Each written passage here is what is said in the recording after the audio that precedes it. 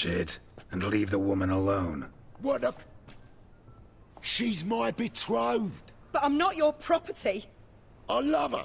I'll not let her sway her ass in his brothel. Whoa, slow down there a minute. This is clearly one gigantic misunderstanding. One I can clear up in the blink of an eye. Shove your excuses up your ass.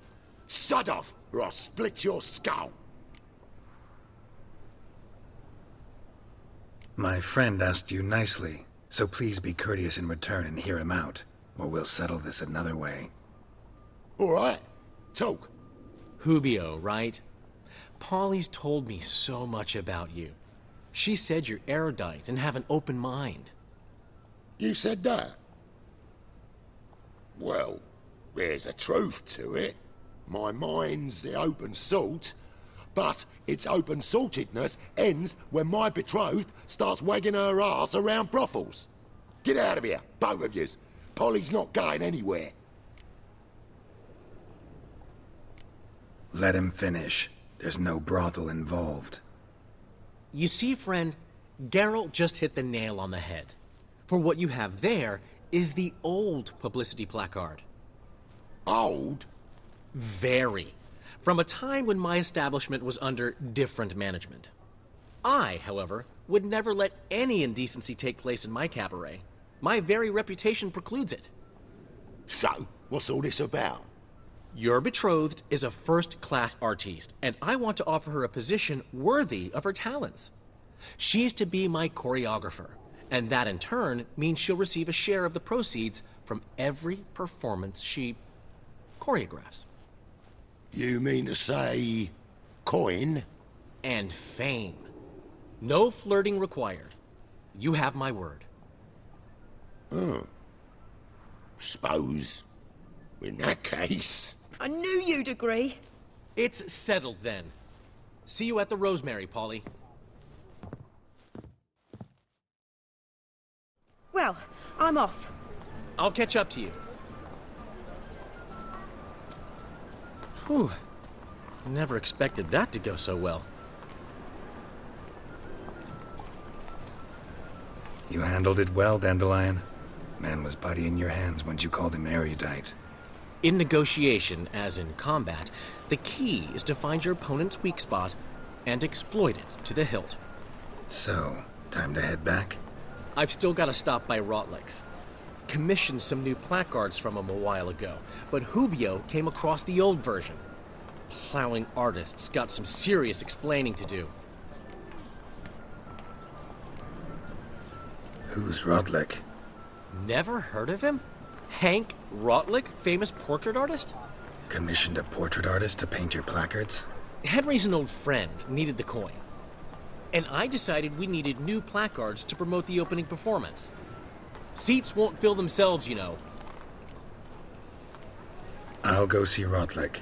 You head back to the Rosemary, where Priscilla will have my head. Really? You'd go? No, said that for the hell of it.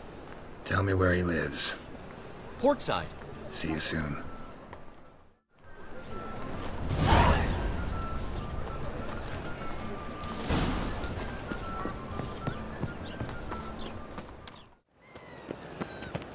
Uh, nothing hurts as much as life.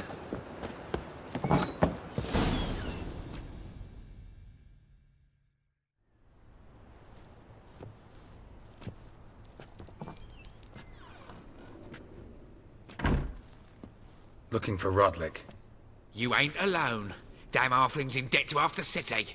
But I'm here to scrape mine before the carcass is picked clean. There's not enough for everyone, so bugger off. Feeding time's first come, first served. You're not gonna rob him. Strange, don't recall asking your permission. Get him, Fred! Ah! You'll regret this, mutant.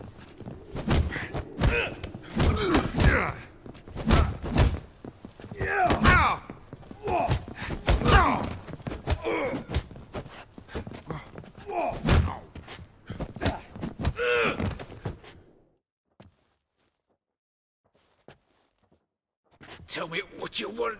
Damn it! Placards. There ain't no ploughing placards here.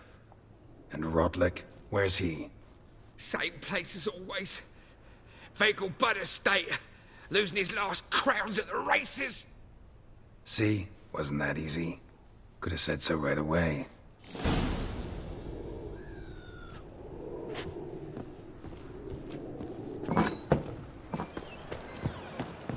Go pickle spiders up your...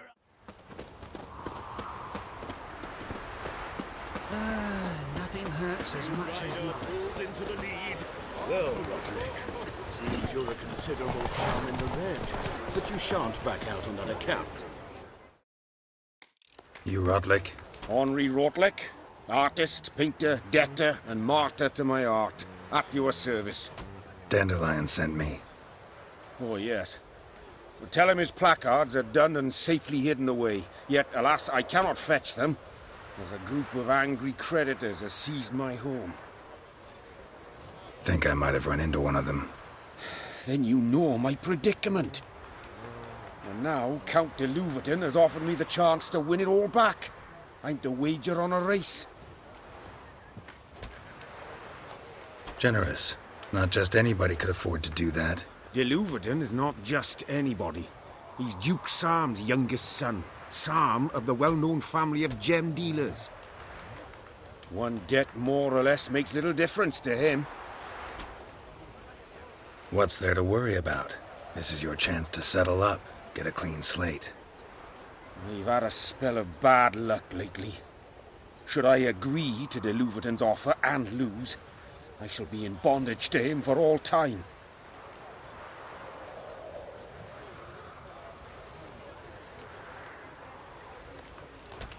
Listen, all I really want are the placards. Tell me where you tucked them away and I'll be out of your hair. Forgive me, I cannot. I hid them with family heirlooms that would work those barbarians lurking outside my home into a slavering froth. Then go fetch them yourself. I'll wait here. If I show my face there without coin, they'll beat me to a pulp. I must win back my debt somehow, else I'll never return home.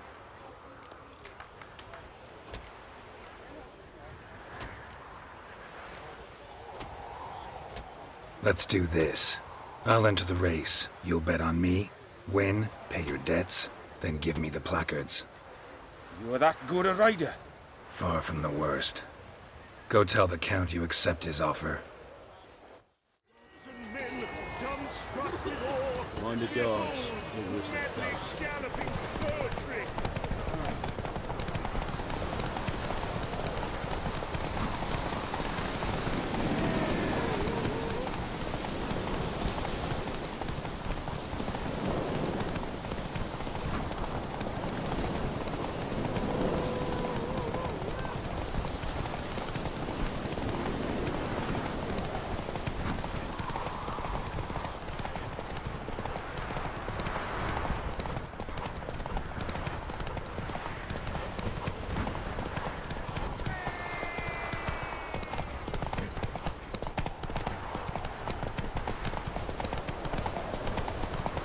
Come on.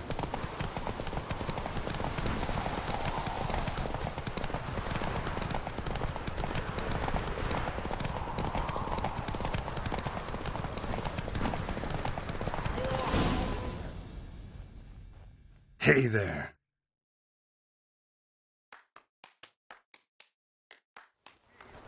Thank you. I, I never expected this. May I ask to what I owe this generosity? Let's just say I like to do a good deed from time to time. Can we get those placards now? I'll bring them to the Rosemary in time, just as soon as I settle my obligations. Fine. See you there. Oh! Watch it.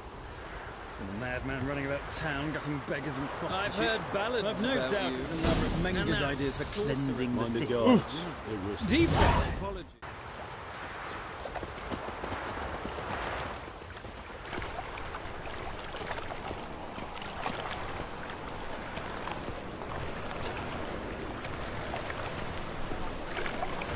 Scram before I lose my patience.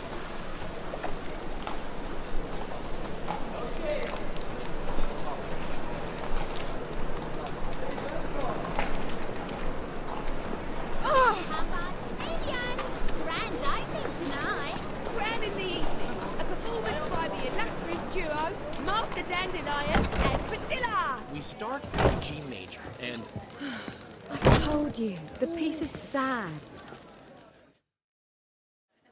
Well, well. See, the crew's been hard at work. Not bad.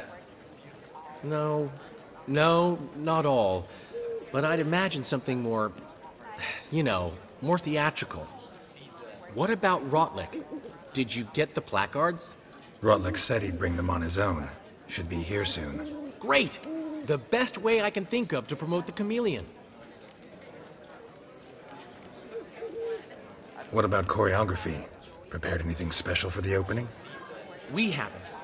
But Polly has. She's priceless.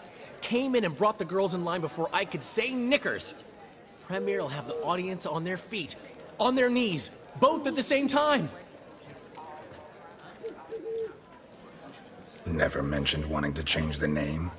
Rosemary and Thyme wasn't all bad, but it conjured images of Temerian cuisine served by waitresses in peasant garb. Chameleon's a lot better for a cabaret, apart from which it emphasizes that the place has undergone a transformation. Just a better ring to it all round. Guess everything's ready. So when's the opening? Soon. We start our dress rehearsal in an hour. I just need to nip back home for my dress.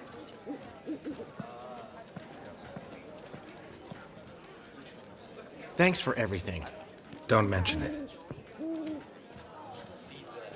Seems my cabaret dreams are about to come true. So, around to celebrate? I'm buying. Why not? That's my boy. The foreman mentioned he saw you and Priscilla talking, He's all right. and she say anything about me?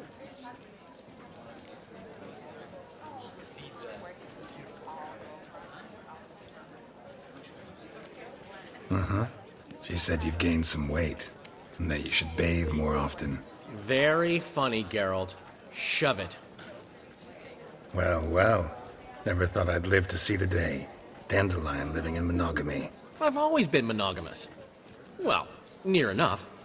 I just changed muses often. Priscilla, another one for your collection? No, she's its crowning glory. One thing's eating me. How do you manage to get the loan from Sophronia? Ugh, wasn't easy. She got so excited about our performance, I had to read to her for four hours. Four hours from the cloak and the dagger. You mean you didn't? Are you crazy? Who do you think I am? She's late, of course. She knew how important this night was to me. Of course she did. Probably just making herself gorgeous. Takes time. So it's true. A woman's vanity knows no bounds. Master Dandelion! Priscilla, she's. What? Speak, man. She's badly, uh, been attacked. They, they took her to Vulmerius Hospital. Attacked? She's hurt? Geralt, come with me, please. Of course. Let's go.